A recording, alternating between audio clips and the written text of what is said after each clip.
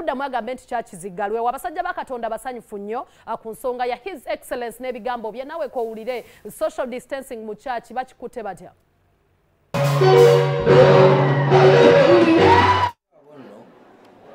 Era bali mu bibiri ndooza bwe mulabye kati bamusanzeewo bali mu bibiri ndooza oba bayisemu bayisemu nga abiri mu kusika omugwa okungi ku makya twabaddewo ne tugenda n'abasoose ne tubata era ne tubasiibula mu bugubi obungi ne bagenda.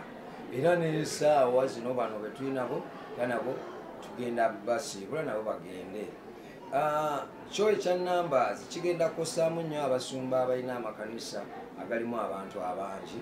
Naye olwokuba nti twagala kubanga tujemera gavumenti kyebeeyogedde oba minisita of health kyebeeyogedde tujja kutambulirawo naye era nga amazima gali nti omuntu okusaba naye paka saa kubanga betusabye nabo abasose tubatadde saawa ttaano omuntu oyo mpaka saawa ttaano n'omuzaayo waka aba awulira bubi. Gala abantu baleme okwesiga bannaabwe.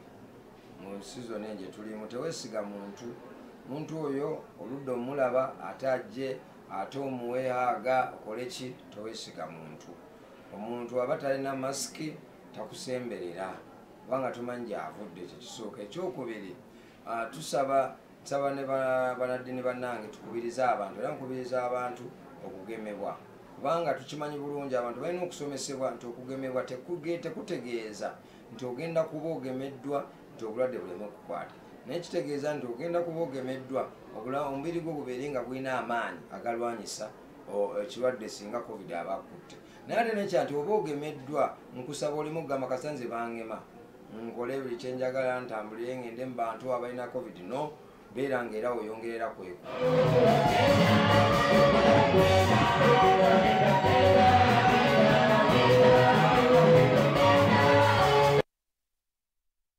Omusumba pasiteri ebyo byayogedde sijja kuba nga nyongerako ku lw'ensonga y'obudde nabagambye omulungi florence uh, mu studio yatuuse dda ngenda kuba nga mbalekerayo emboozi ya ijawu nga bano bamiitinze n'aba uma omubadde omukyala sophie